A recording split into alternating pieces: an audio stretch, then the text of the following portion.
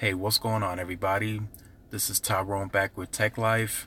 So it does look like T-Mobile is spending more on the 600 megahertz build out than everyone expected.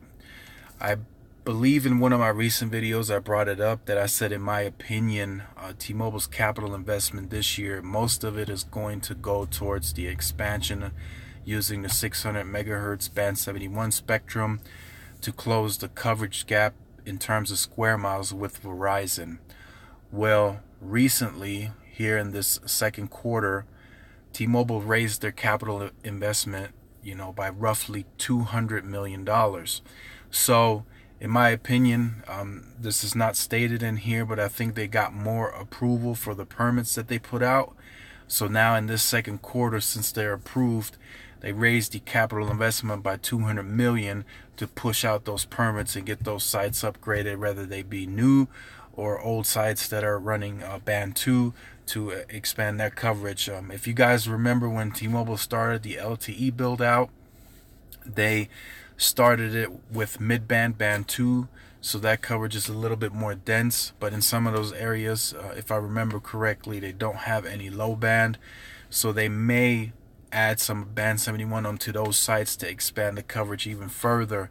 Uh, some some of those towers uh, were two sector towers, and they were only facing up and down uh, interstates or highways. They weren't necessarily covering anything else off of that. So as soon as you got off of that specific road, you didn't have any more service. So T-Mobile could be potentially going back to those sites and covering that surrounding radius so you don't lose service as soon as you get off of the that interstate or highway.